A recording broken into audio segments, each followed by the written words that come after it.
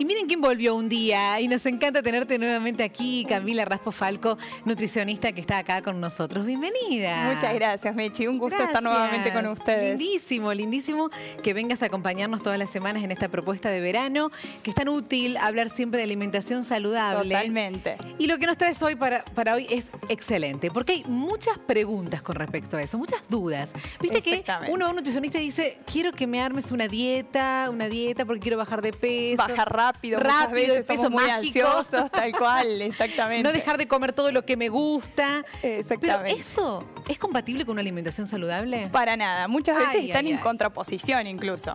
Sí, sí. Ah, Por eso que hoy traje los beneficios y las consecuencias de cada una también, ¿no? Y las diferencias. Bueno, por eso nos trajiste todos estos, este rompecabezas. Exactamente, este rompecabezas como para ver cómo estaría compuesto realmente un plato equilibrado ah, y completo en nutrientes. Bueno, ¿por qué una dieta estricta? Viste que hay millones de dietas. Totalmente. ¿Ninguna es saludable? Por ahí hay muchas dietas que son estrictas y que por ahí nos prohíben ciertos nutrientes. ¿sí? Como por ejemplo las dietas que sacan los hidratos de carbono. ¿Sí? Por dar un ejemplo.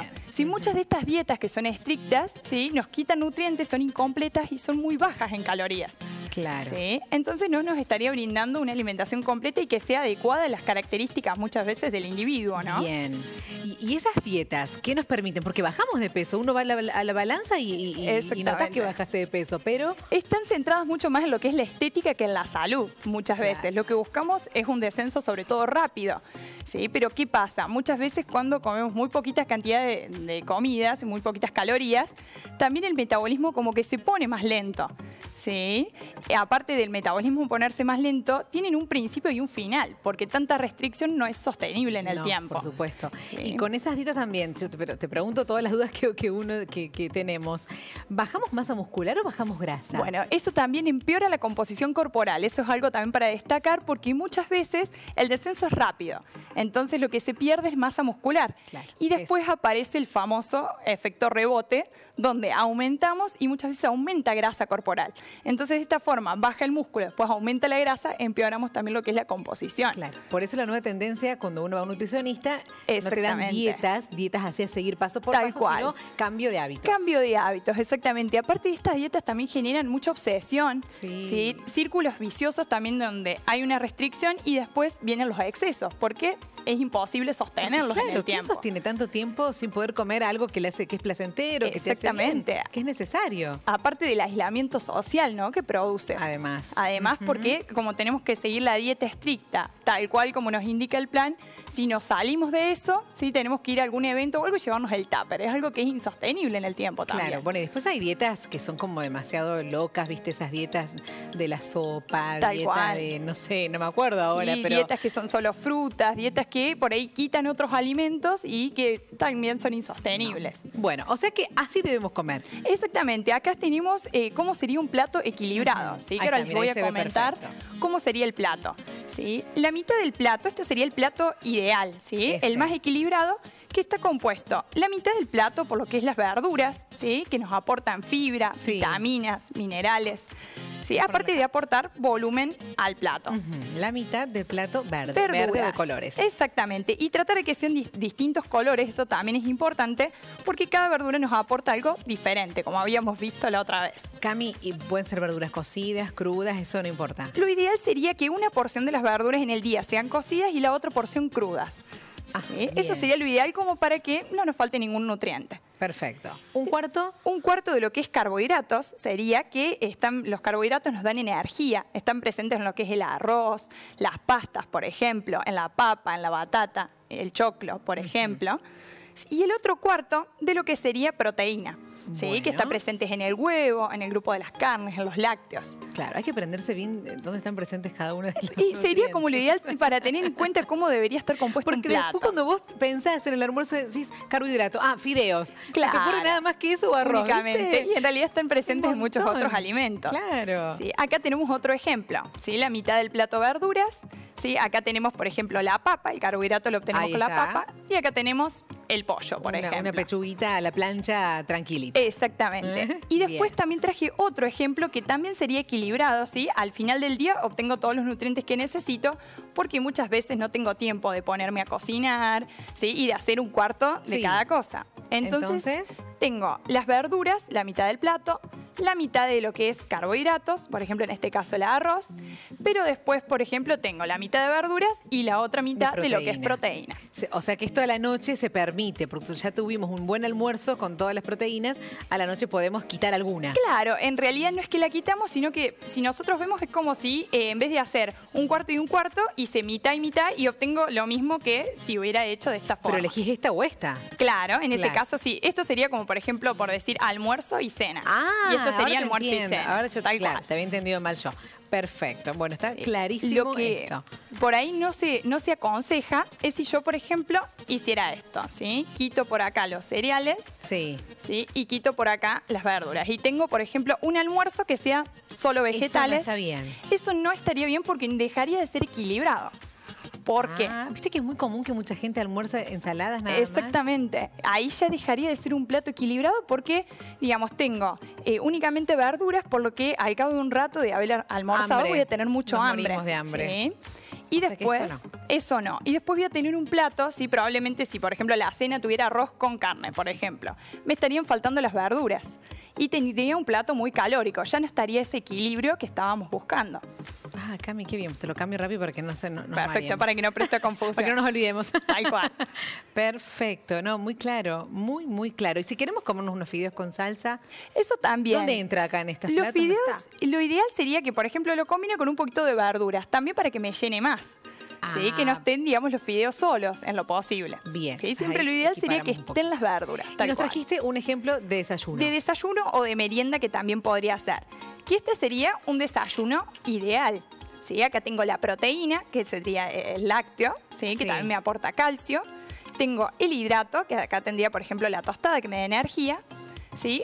Tengo queso, mermelada, por ejemplo, y fruta, que acá tengo también la fibra y vitaminas y minerales. Bueno, en cuanto a cantidades, Cami. Eso en realidad depende del peso de la persona, de la altura, digamos, de las características del individuo, de la energía que necesite, digamos, acorde a su peso y a sus características. Ah, bien, nos podemos comer dos platos a lo mejor. Claro, depende por ahí de la actividad que realice esa persona y de las características, digamos, del individuo. Estos serían como las proporciones adecuadas y lo que se recomienda. Después, obviamente, el tema de porciones se ajusta acorde tal cual al individuo. Bueno, me encantó esto que trajiste, porque es una manera muy práctica de, ver lo que uno comenta, que no es lo mismo contarlo que por ahí con visualizarlo. visualizarlo con los colores, la disposición. Muy, muy útil e interesante, Cami, lo que nos trajiste. Hay unas placas también para que compartamos. Sí, perfecto. Entre las diferencias de dieta y de alimentación, y de alimentación saludable. A ver.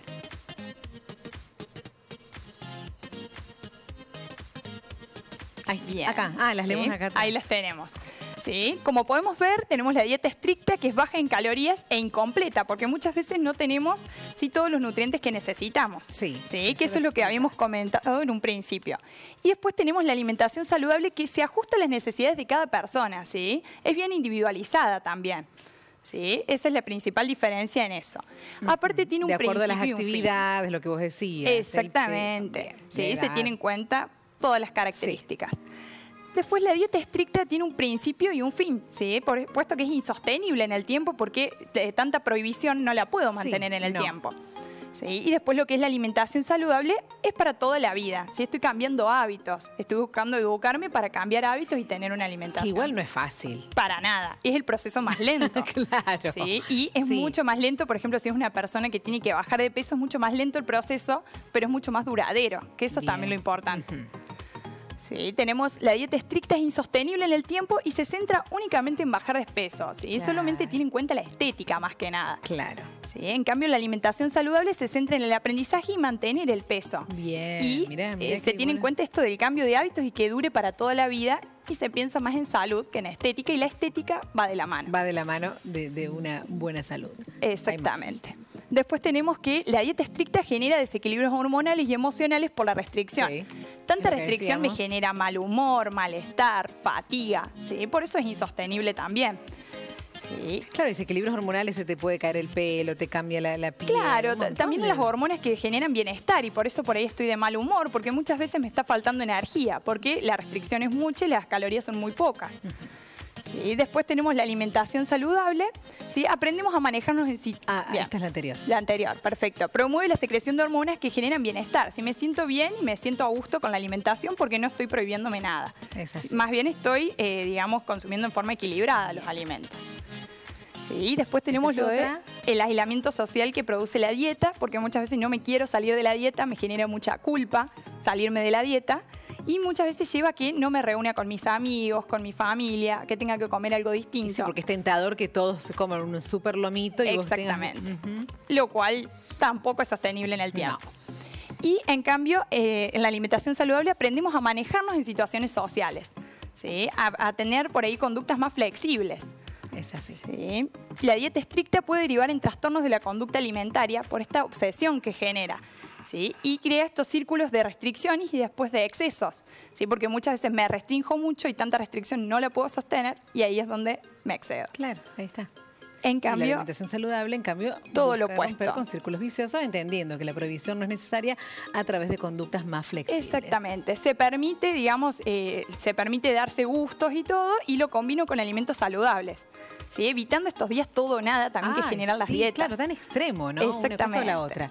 ¿Hay una más? Sí. Y tenemos que empeora el metabolismo, la dieta estricta, por esto que dijimos que lo vuelve más lento y genera obsesión y empeora la composición, también haciendo esto que primero se pierde músculo, aumento de peso y genero más grasa. Bien. ¿Sí? En cambio, la alimentación saludable es cambios graduales en el estilo de vida, cambio de hábitos y mucha educación alimentaria. Cada vez más gente está intentando, ¿no? Totalmente. Eh, por suerte, sí, cada vez Sí, se están inclinando más para el lado de la alimentación saludable, sí, porque ya dietas, digamos, han habido muchas y nunca, digamos, han funcionado a largo plazo. Sí, hay que pensar más en salud. Cambio otro, otro puntito rápido, acompañado por ejercicio. Mm, acompañado por ejercicio también. Sí, la actividad física también es otro factor que es importante, más allá de por el gasto calórico que genera, también por la sensación de bienestar que genera. ¿sí? por esto de las hormonas y todo que comentábamos. Muy, bien. Bueno, súper completo. Súper completa toda tu explicación. Eh, muchísimas gracias. Muchísimas gracias a ustedes. un montón y ojalá a toda la gente que está del otro lado también. y empezar ¿eh? de poquito, tranquilos, a ir cambiando los hábitos alimentarios. Muchísimas gracias. Y para cerrar, bueno, también les quería comentar que, por ejemplo, comer una hamburguesa, por comer una hamburguesa no dejamos de ser saludables, ni por comer una ensalada somos Lo importante es los hábitos en conjunto. Perfecto, Cami, muy clara ha sido.